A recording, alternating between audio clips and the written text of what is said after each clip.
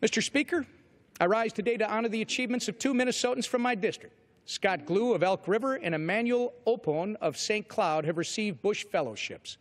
During his service in the Army National Guard, Scott was deeply affected by the human suffering he witnessed.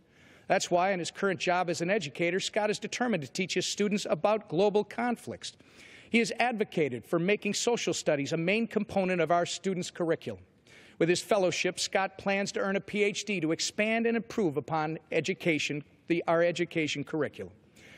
Mr. Oppong is originally from Ghana and knows firsthand that mental health is not a priority for many cultures. That's why he works as a counselor for immigrants and refugees dealing with culture shock and trauma. With his fellowship, Emmanuel plans to learn how to raise awareness of mental health issues and implement education plans to improve the health and well-being of our communities. I'm deeply impressed with these individuals and their commitment to the common good, and I wish them well as they pursue their goals.